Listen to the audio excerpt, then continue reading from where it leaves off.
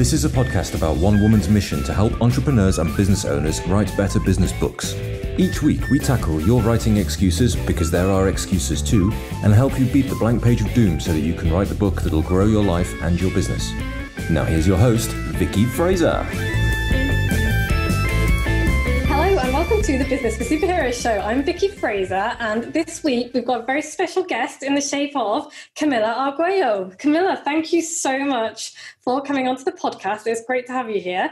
Um, the reason that I've got Camila on the podcast is partly to talk about what she does, but also because she's written a book. And this is, after all, the 1000 Authors show. So I want to ask her all about the book and how she wrote it and what she does. So, Camila, tell us a little bit about yourself. Yeah, thanks for having me on, Vicky. I'm excited. Um, and I'm actually drinking tea right now, which I think is fitting based on the location of where you are. Um, so I am a um, alignment and mindset coach for high performers. I'm an author. Um, I'm a speaker and I do all kinds of stuff, but really everything that I do relates around um, getting out of our heads and kind of just like getting the things that we want in life really done, um, but really identifying what those things are um, because a lot of us base our life on the shoulds and not on the wants. So um, my job is to help people get a little bit out of. And then my fun new slogan that I came up with on a podcast randomly last week is by day I sell things and by night I teach things because um, I'm also in sales. So I see a lot of the like practical application of things. Um, and then also um, I just love working with people. So I do it everywhere. Cool. I love that. And I love I love the focus on wants instead of shoulds because there are way too many shoulds in the world and way too many people pointing fingers telling us what we should be doing and how we should be feeling and that we're not real business owners unless we do this, that and the other. And it just makes my brain hurt. So let's talk about that a little bit. How how does what do you think about all of all of the, the shoulds that are flying around, particularly at the moment? It's it's crazy. Yeah, I so it's funny because like this is what I do, right? And it's what I'm really good in coaching other people to do. And yet at the beginning of all of this, I found myself wrapped up in it. Like I was really torn between uh, my March and April were looking really packed work wise, um, and from just being at home, and also at the same time, like everyone, half the people that I knew or followed online were like, oh my gosh, now is the time to rest, reset, rebalance. Um, and I felt like a really fun blend of like very like spiritual business and also just funny things online. So I was like, ah, what do I do? Do I do or do I be or like, oh, and I was totally stuck in it. And it wasn't until I had a call with someone else who was like, Camila, you're allowed to make this time what you want it to be. Like if one day you want to work 12 hours and get a lot of stuff done and the next day you want to do nothing, like that's okay. And I was like, "Oh wow, like sometimes it's it's funny to me how much we lack the permission like to give ourselves that permission uh, and just like let ourselves want whatever we want. And it's been really funny to watch because i have. I've had several days where i've worked really hard. I mean the majority of the um of the time we've been because here in where i am we've been in shelter in place. So uh, we haven't gone out really since the middle of march um, at all. Um, and things are just now starting to to look like we're about to reopen here in june or july. So I spent like six weeks working, didn't take a single day off, and then I hit a wall and was like, "Nope, I don't want to do this anymore." Um, and then just start taking a lot of time off. So I think it's really just important, like any time in our lives, but really, it's really loud right now to make sure that we're clear on on our own values and on what's going to feel best to us, while still obviously remaining respectful of other people. Um, because a lot of the times, what I hear in this area, and I think it's really relevant right now, is that people take like yeah do what you want as a an ability or an excuse or permission to then you know trample on other people um, with that as a defense and that's not what it's about either. So um, there's a way i think to be mindful and respectful and honor yourself um, and also other honor other people. Yeah yeah, thank you for that. It's, it's, it's, I don't want, I don't want to talk too much about what's going on at the moment because everybody is talking about what's going on at the moment. But it's you know it's going to change. It's going to change the way things are for quite a long time. So I think it's it's really nice to hear somebody talk about the difference between wants and shoulds. So I don't know what what has happened in your area of the world, but in the UK, there's been like a rash of people baking banana bread. That's been the thing that everybody's been doing. You should be baking banana bread, and I'm like, I've never even heard of banana bread. What the hell's banana bread?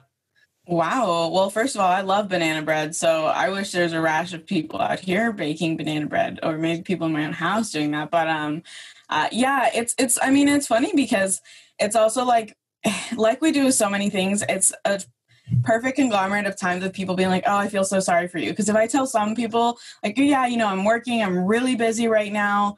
Um, I have so much stuff going on with the book and with my business. And then, like, some of those people are like, oh my gosh, like, that sucks. Like, I wish you had time to reset. And then if I tell other people, like, yeah, you know, I'm resting, whatever, it's like, oh, Camila, like, are you like, what? This is the time to work and this is the time to like do the things you never had the, and I'm just like, dang, if I wasn't as present to myself as I am at this point in my life and I wasn't as aligned and I hadn't been so forcefully checked at the beginning of all this, like I would probably be very confused and stressed out just by the conflicting messages. So, uh, yeah, I think it's it's a great representation and a great microcosm of like a lot of the stuff that we encounter in our lives, but in like in a blown up way. So so how did you get to that point in your life then? You said that a, a, while ago you would have been like super confused and now you're a lot more together. So tell me a little bit about that. How did you how share your secrets, please? yeah. So I think so it's funny because I I talk about this a lot. I used to think I was really indecisive.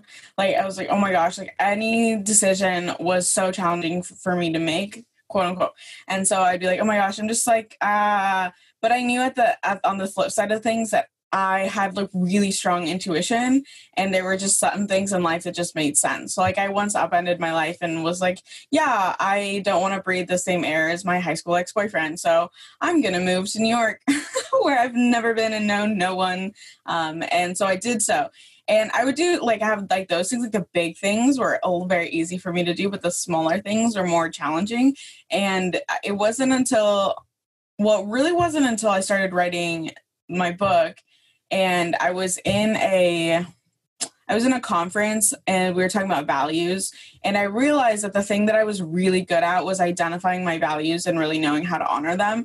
And in the middle of that conference just from sitting down and having an honest conversation with myself about what where my values were, I realized that the reason that I was indecisive and feeling kind of like because I was just in major value conflict and what the driving force behind that was really the job that I was in was a job I was good at, but not a job I wanted to do anymore.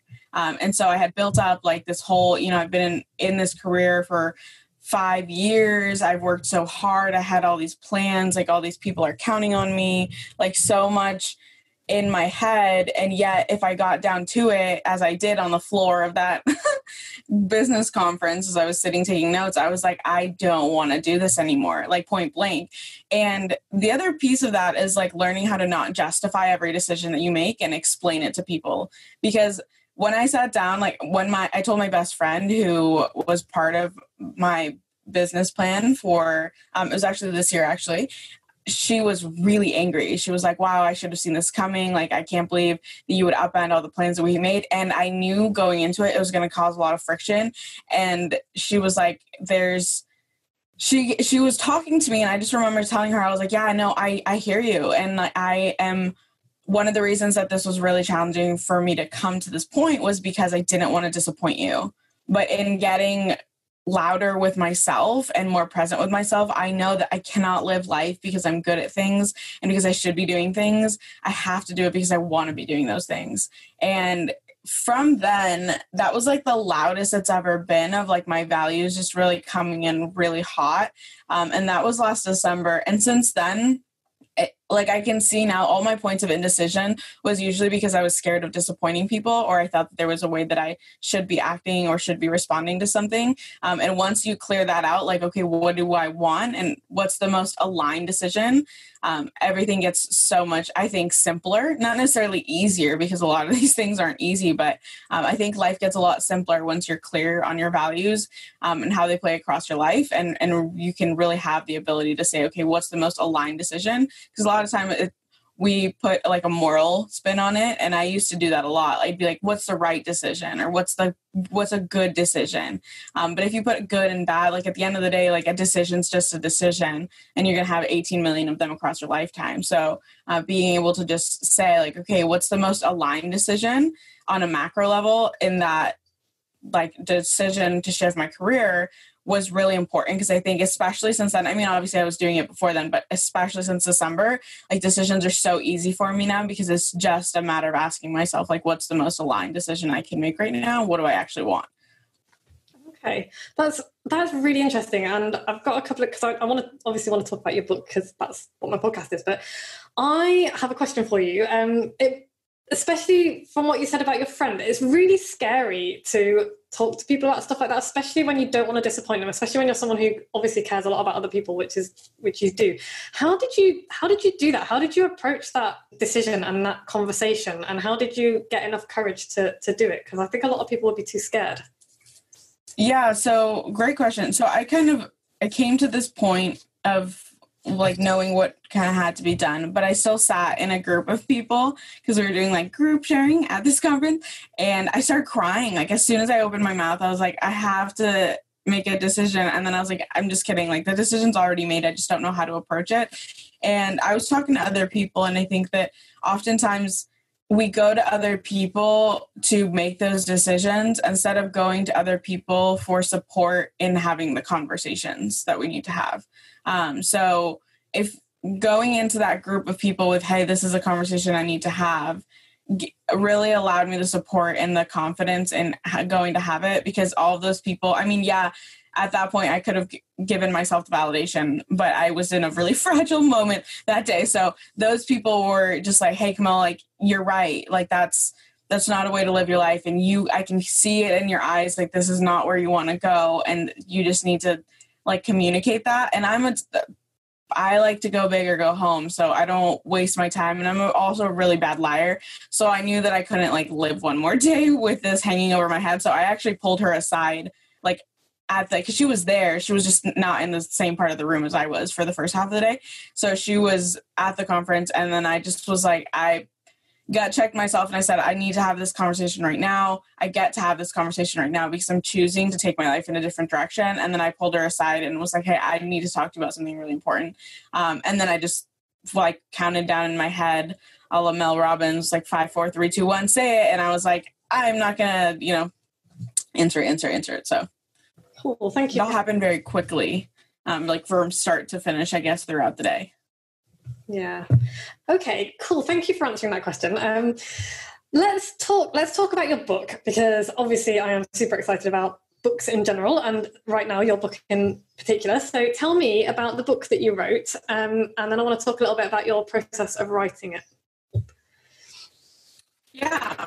Great um, I'm I love to talk about my book, so perfection. Uh, well, I think the first thing that I should say is on this topic of like aligned decision making. Deciding to write my book was one of those things. So a couple years ago, I went to a business conference. Me and business conferences just changed my life left and right. Um, but it was one particular conference, and I, I was at it, and I don't know why, Vicky. I'm I'm not really quite sure, but my arm started um, going up when they were raffling things um, and having bids um, more than I wanted it to. Like I wasn't really connected, but all of a sudden I found myself like having bought like a lunch with this person and a this with this person. And I was like, wow, like I'm really like people started to get this was a 400 person conference and people would see me and be like, oh yeah, you're the you're the girl who's bought everything. And I was like, yeah, me and my bank account are just as shocked as you are. Um, and in this process, one of the things that I randomly bid on that ended up really being life changing was a dinner with this guy who had founded self publishing school. His name's Chandler Bolt, and yeah. I bought the I don't I don't know. He was talking on stage and talking about how you have to write your first book on something you can talk all day about, that it should not be your gut wrenching memoir. That it should be like your one and done, like go hard, go heavy so that you can learn the book writing process, you can get better, and either way, like your first book's not gonna be your best book. So anyways, I went to dinner with him and I had like thought about this and I was like, man, I just think this is like really weird idea for a book. But my and as he was talking was like, you have to write this book. And so I, I like kind of pitched it to him as we were walking to dinner. And he looked at me and he's like, Oh my gosh, that thing on pre-sale? He was like, I'd buy that. And I was like, Oh shit. Uh, like Chandler Bolt would buy my book. I was like, okay, cool. Okay, cool, cool, cool, cool. And then throughout dinner, I was just like, all right, I guess I have to do this. And I so I decided to buy into like his program because he like coaches people on how to do that. And he has like this massive company that does that. Uh, and again, my bank account was like, "Hey, what are you doing there?" Um, but when I went to the sales meeting and I pitched it again to this guy, he was like, wow, no, like that sounds really really weird and like I've never heard of someone writing a book on that. So like you should do it. And then I called my fiance and I was like, hey, so I kind of want to buy this thing, but it's like a lot. And I'm really not sure where that's going to happen or how it's going to happen. Like I just got back from living three months abroad. Like, mm. and he was like, is now the time? And I said, yeah, now that's the time. And he was like, well, then buy it. And so I was like, okay. So I bought it. And so by now everyone's like, oh my God, what is this book about? Is it like some mythical race of dinosaurs? It's not actually. Um, it is a guide for men on using their dating apps and optimizing their dating app profiles. Um, and I've been in the, or I was in the online space, like freelancing for about five years, rewriting men's profiles. Is like a very weird thing to do in college. Like some people are like, oh yeah, like, you know, I bust tables. And I was like, yeah, I rewrite, you know, grown men's profiles on Tinder. Uh, so, but then again, I sold knives in college too. It's so needed though. I've got a friend who actually we used to talk about that because she she's really good. She's like, I'm gonna I'm gonna write rewrite people's dating profiles. This was when she was dating. I was like, you totally should do that. So I think it's I, I love the fact that you did it. It's great. I love the title of your book as well. It's just perfect. Yeah, and it, you know what's funny is I was agonizing over this title for months. Like I was like, "Oh my gosh, what do I call it? Like what do I even say? Like do I call it cuz I was trying to really appear to like appeal to like the, you know, like high powered cuz Vicky, you'd be surprised. A lot of my clients back in those days when I was doing it for like ten dollars, God help me, like what was I doing back then? But anyways, a lot of those men were like very successful, like business owners. Like I wrote one for the this guy who's on like Arizona's 30 under 30 like we're not talking like a you know 40 year old man that's like I am insecure about myself. Like no we're talking dudes that are just like I I'm really high level everything I do in my life and I don't care to not be high level so go write my thing. Like even their Tinder bio they outsource and so I was trying to really hard to appeal to that kind of man and I was like I am so far from that man. Like I am a bisexual Colombian woman. I was like, there is there is no like it is uh, the alpha man. So I finally I was just laying in bed one day and I was like, I think I'm just gonna call it swipeable. That's what we're gonna do. Yep. Okay, great. That sounds good to me. That sounds good to me. Yep. And then that, it was done. Like there was no consultation. People are like, oh yeah, and I was like, yep, this is the title of my book. It's gonna happen. Um, and it's been great. People keep asking me like where you know where I got the name and where I like, wow, how'd you come up with that? I was like, I have no idea. It just was, I was laying in bed and it just, ah, light bulb. And uh, then we ran with it because I was not going to question at that point after agonizing over it. I think it's no, it's a great title. It's perfect. It's exactly what it says on the tin, and I can totally see how it would appeal to the type of man that you were um, targeting as well. Because it's it's just like the high powered kind of yeah, swipeable. I want to be swipeable. It's great. Yeah, so tell me about the writing process and how did you find the actual process of writing the book? Did you enjoy it? Um, it was brutal. Uh, because I am a well, I'm a recovering perfectionist. So one of the things that that we talk about in self-publishing school is getting words out on paper and editing after. Like you're not allowed to backspace a lot. You're not allowed to self-edit while you're writing. Like do not and that was the that was the hardest part for me because i would write something and be like that's trash. But i have to keep going. And so yeah, it was just like oh my god it's so grueling.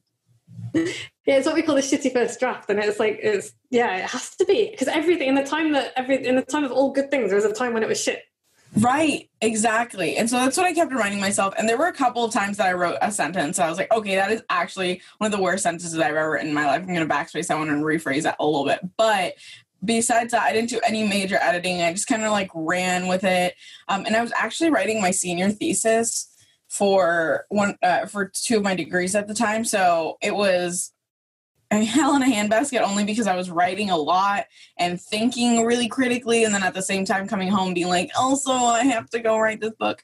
Um, so it was challenging for that reason, but at the end of the day, like it actually got done way in like smaller sittings than I thought it was going to. Like number of sittings. Like there was one morning where I had a call with my writing coach, Power of Accountability, um, at, at like 8.30 and i was like wow i am nowhere near done with my rough draft but like i just told him it would be done and i hate disappointing people and i also like i'm so tired of just putting this off and so i woke up that morning at 3 a.m and this was like my saving grace because it was i was kind of tired so it was just like i got to keyboard and i typed out like 5000 words before our call and i got on our call that day and i was like hello i have now finished my rough draft Nice. um just now. And he laughed and and then it was done. It was like by the end of that day like the rough draft was done and then stuff got added to it. But um, most of it came from that like one sitting of just like really letting it down. And that's what i tell a lot of people when they're challenged writing is just like honestly like if you wake up at 3 a.m one day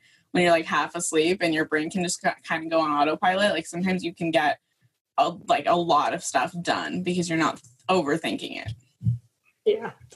So did you what did I mean, you said it was brutal and i think that i think that writing a book is a brutal process for a lot of people. It's i'm particularly impressed that you managed to just splurge your shitty first draft out without doing too much self-editing because that's the thing that most people struggle most with. So i am so impressed. How did you find the discipline to do that?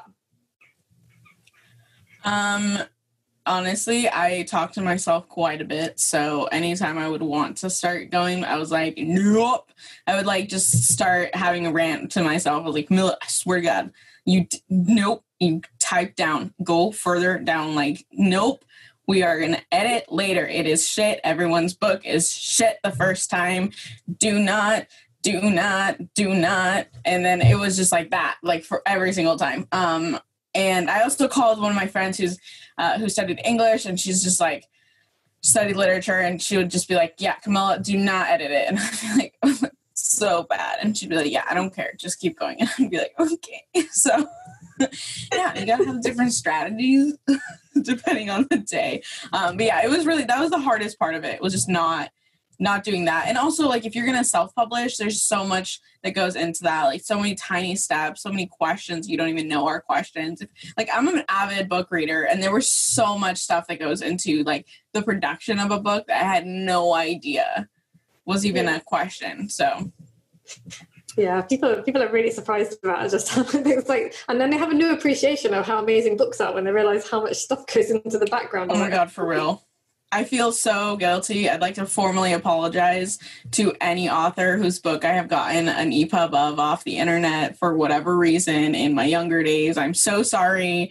I nowadays like when my friends send me EPUBs of something and I was like, oh my God, please send me their Amazon link too because I'm gonna have to go buy their books. Now I have this overwhelming guilt. I'm like, I can't do that to them.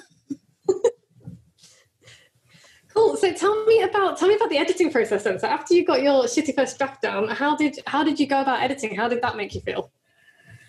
Um, you know, I mean, I mean, the first thought was like, wow, well, this is shit. Um, and then I was like, great, because I had to like rework it because I had started in one kind of like, oh, I'm gonna take it in this direction. Because pro tip, make sure that you actually outline in an outline that you feel really good about. Because I felt decent about my outline, feel like amazing about it, and then like two chapters in, I was like, oh wow, I have this brilliant idea now. And then I changed it. And so that my first two chapters did not make sense, like the way that they were structured. So I had to be like, okay, cool, cool, cool, cool, cool. So that made my editing like a lot slower. Um, but thankfully, again, I talk to myself all the time. So I was just able to just like talk to myself and read it out loud, which was also challenging. And then just like knock it out. So I did it around myself and then I sent it off to someone else to help me edit. Um, and then after it came back from her, then I took it over and I like finished everything up. So you just have to have a lot of grace for yourself and a lot of patience um, and a lot of love because, like, yeah, there are going to be stuff that you say that you later look on and you're like, why in the world would I write that word next to that word? But you did. And it's fine because that's what backspace is for. Um, I honestly have no idea how people wrote on typewriters. Like, God bless them because. I, there would have just been i would have it would have taken me 10 years to write this book. And it's not a big book um, so we would have been challenged. Um, yeah so uh, just a lot of patience a lot of grace for myself especially once i came back from editor. Like everything was read. And i like i'm a funny person uh, at least in my own head. And a lot of the humor is what Haley took out of my my editor Haley. She took out of the book. She was like, "This doesn't land. This is trying too hard. This doesn't read." it was so hard for me. I was like, "But that's so funny." But like I was like, okay, but like I trust this person and I understand. And it was funny because like the lines that I thought were like the least funny. Like there's a line in there that says like, at, like men with animals in their pictures, like statistically get more r- swipes to the right. And then in parentheses, I wrote like that doesn't include the bass you just caught. Like skip the fish she thought this was the most hilarious line of all. She was like, "Oh my god, I love this," and I was like, "Haley, I literally added that like a spur of the moment, like, oh yeah, that would be kind of amusing." Like it was not funny, but all the things I thought were like, eh, she was like, "Wow, this is funny, this is humor," and everything else, she was like, "This is trash." So I took out so much of the funny side of things, but now reading back, like it feels a lot better and it feels a way more smoother um, because it is. It's hard sometimes to translate humor into writing and especially when you're writing to a very different demographic than yourself um, it you have to be even more mindful of that. So challenging but i mean at the end it was like that when it came back from editor i think that's when i was like wow this is like a real thing that's starting to happen now Yeah, I think also humor. Certainly for me, humor is a defense mechanism that I go to when I'm when I'm scared. I automatically default to clown mode, and so I wonder if perhaps that's one of the reasons that your editor is like because everybody is scared when they're writing their first book. So they're like, ah, oh, this is going to be really shit. Everybody's going to hate it, and oh. and so that was probably a reason. But I also have a question to ask you. Are you a fan of Brooklyn Nine Nine? I am. I thought so. There was a cool, cool, cool, cool, cool.